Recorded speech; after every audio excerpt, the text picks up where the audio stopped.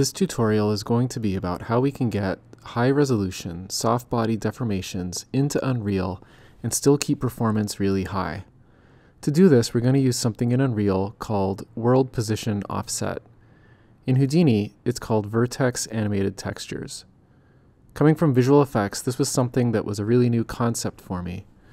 What it allows you to do is inside your game engine, in your material, you can move your mesh.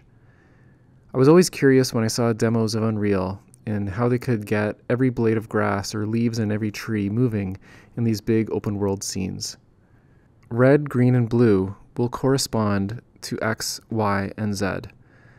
And so if I type in 100 units of red, that will move it 100 units in X. And if I give it a red value of 1000, that'll move it 1000 units in X. So what we can do is we can take our motion in Houdini and make a texture that's going to store all the animation values on it. Now in order for this to work, we have to download and install the SideFX Labs tools. This is a free set of tools. You can find more resources about it on the SideFX ArtStation page. The Labs tools are updated constantly, and there are instructions on the SideFX website on how to install it. We're going to go into Houdini and we're going to do a really basic example just with a piece of cloth. I'm going to drop down a grid, and after that, I'm going to connect it to a remesh node just to give it more points. So it's a denser mesh, so our cloth will have more detail. Now I'm going to drop down a Vellum Configure cloth node, and we're going to keep everything with the default settings. And after that, I can just plug it into a Vellum Solver node. Once the Vellum Solver node is connected to the cloth, I can connect a sphere to be the collision object. When I run the simulation, we'll see that it will collide with the sphere.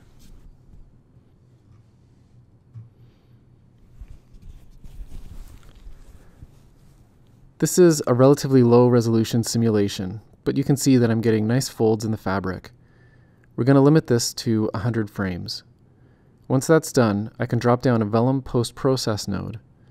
Vellum Post Process allows me to subdivide it after the simulation. I turned on detangle, but I found out that that's not really going to do anything in this case. Then I turned on extrude by thickness, which means that now the mesh will have some thickness to it. It's not going to be just a zero thickness mesh. Now once that's done and I'm happy with how it looks, then I have to export it for Unreal. I'll drop down a null and label it to mark the end of this network. Next, I'll drop down my vertex animation texture node in the out context. You really only have to do a couple of things. There are a lot of settings, but we won't need to change much. I have to connect it to the geometry that I'm going to be using There are different presets that you can use, and in this case, I'm going to use soft body deformations. I'm going to make sure that the EXR that it's going to be output to is going to be a high dynamic range EXR. It's going to automatically save the files to the same directory where I saved my HIP file. If you're new to Houdini and unfamiliar with the term HIP file, it's referring to your project file. So it's just going to save our textures and geometry to the same directory as where our project is stored.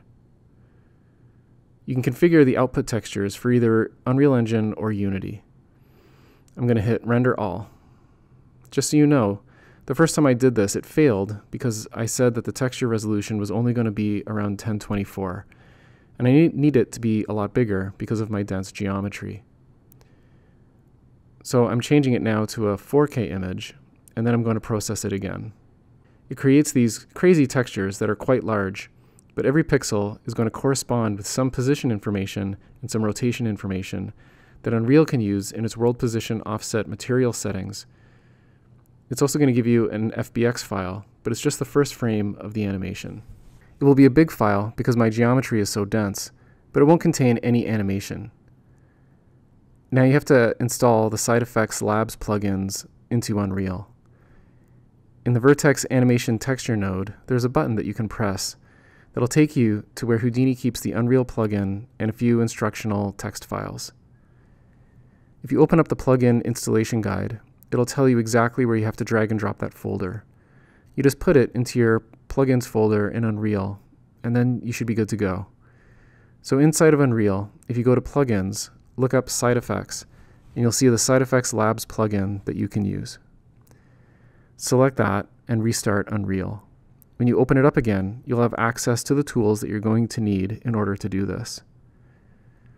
I'm going to load in the FBX, and there are certain settings you need to tweak, and this is explained in the text file. In that text file, it says you have to turn off all the toggles. I missed a few when I did this, but you'll see that when I go through. And then just basically go through the instructions in the file. The vertex color import option should be set to replace. The transform vertex absolute should be on. I don't have any LODs, so I don't need to bother with those. Normal import method should be set to import normals and tangents. Import uniform scale should be set to 1. Convert scenes should be set to on. Override full name is on.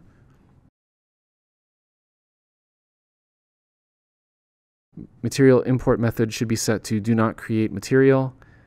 Reorder material to FBX order should be on. Once that's done, you can bring in the textures. The textures need to have specific settings applied to them.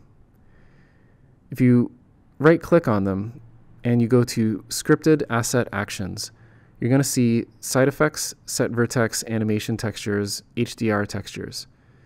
So when you do that, that's just going to set the settings on the textures to the correct setting.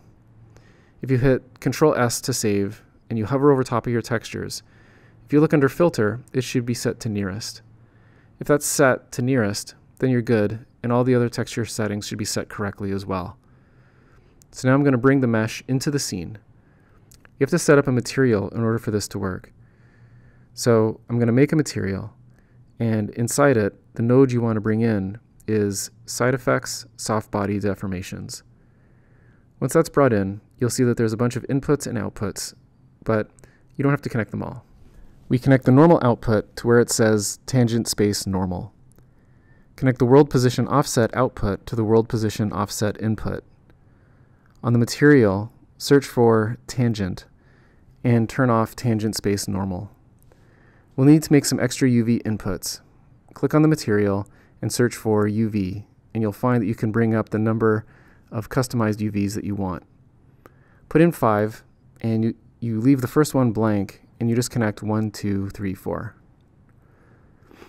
Once that's done, I'm just putting a color on it, uh, connecting it, and then I'm going to save out my material. Then right click and select Material Instance. On Material Instance, it's going to give us a different interface, but a much more friendlier interface for us to use.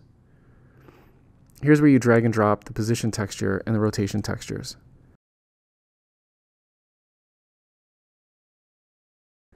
Once that's done, you can see the mesh moving, but it's going to look kind of crazy. When you're using large textures, you have to open up the window for the mesh properties, look up UVs, and turn on Use Full Precision UVs. And just make sure to scroll down a little bit and click on Apply Changes. You should see that now the mesh will behave properly.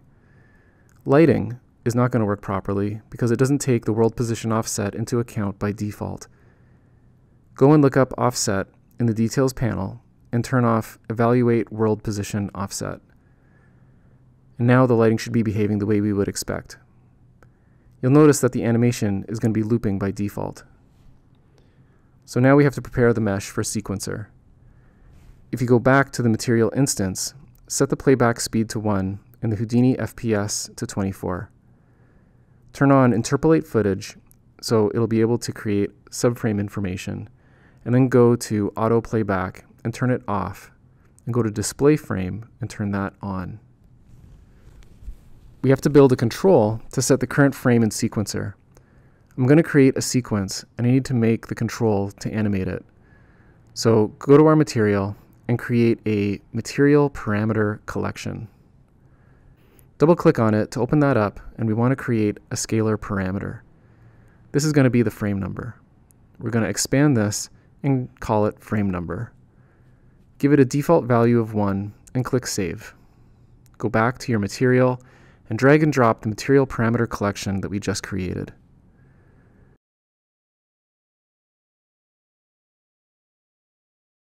Make sure that you select the parameter that you want to use, so frame number, and then pipe that into the display frame override. Now, that parameter can be animated in Sequencer. Go to add a track, and we want to add in a material parameter collection track. Select the name of it, which in my case I called VAT cloth. And now you can just dial in the frame number you want. I'm going to go to frame 1, and I'm going to have my last frame be frame 100. And make sure you set the interpolation to linear. And now when I play back, it plays back. That's our simple setup. Excuse the bad lighting. So now I'm going to walk through a more complex example. I'm going to go through this quickly because I explained it in detail in my last tutorial. The link to my last tutorial is in the video's description. I imported the skeletal mesh from Unreal, and I brought in the animation, and I brought them into a bone deform node. So here I can see the animation, but it doesn't have the skirt. The skirt I had to export out of Unreal by making it a static mesh. Then I have to unpack it in Houdini, and then I'm going to remove the default material that Houdini throws on it. Then I'm deleting everything but the skirt. The skirt has a cut in it, and so this chunk of nodes over here, I'm just separating out the cut so that it's not overlapping. So now it has that opening and I'm subdividing it. Anything that's new from the previous tutorial is going to be a pink node. I'm deleting the inside faces because we don't need that for the simulation and it will just slow it down. The next part is getting the skirt into the attack position. Right now the skirt is in the A pose position, and that's not the same position as it is when he's in his attack pose. I'm blending between those two poses, and the cloth will simulate moving into the attack pose. You can see that now the sim is much slower than before, because it's just a way heavier, denser mesh. It takes several seconds before it goes to the next frame. And this part is I'm just showing how I'm blending from the A pose into the attack pose. I ran this sim for about 122 frames until it's in the attack pose and the cloth has settled, and then I use a stash node to store the geometry into the HIP file. I did add a peak node here, which is expanding out the character, and that's just to push the cloth outward so it doesn't accidentally simulate the cloth into the character. So I just set up the nodes for the simulation, and this is where I cached it out because it was such a heavy sim, it was saving it as it went. And now you can see it's a heavy mesh, but now I get all the nice folds in the fabric. I'm going to do a vellum post process, and looking back on it now, I, I didn't need this node. I thought at the time I should try to detangle anything, but that's not going to do anything here uh, because I'm going to deform the original mesh with a point deform. Now I'm just connecting it back to the original mesh with the point deform, and I can see it's looking nice, and I can test that out here. I did add in a soft transform, just grabbing a chunk of the mesh before it was animated and pulling it in just a little bit because I could see that here the skirt was intersecting the character. So I'm just pulling it in slightly. Uh, it was enough that when the animation is applied, it no longer intersects. So I'm just showing that over here by turning it on and off. You can see how that part of the skirt is being tucked underneath the belt. And then I'm deleting any extra attributes that I don't need, and that's going to be the output for what I'm going to save using Vertex Animated Textures. I'm going to go to my output, and there is the Vertex Animation Textures output node. You can see that the target texture size is 4K, and everything else is pretty much the default settings. If I go into Unreal, here's what I was showing at the beginning of the video. I have the high res and the low res skirts that you can see the difference between the two. So you can see all the folds on the left, on the right hand side, it's a much simpler mesh. It's up to you to decide whether it's actually worth it or not to go through all this bother. Uh, but there it is, and the performance is still quite good. You can see here, it's rendered, and you can see the difference between the two, just with the skirts on their own, and you can see how it looks. I hope you found this useful.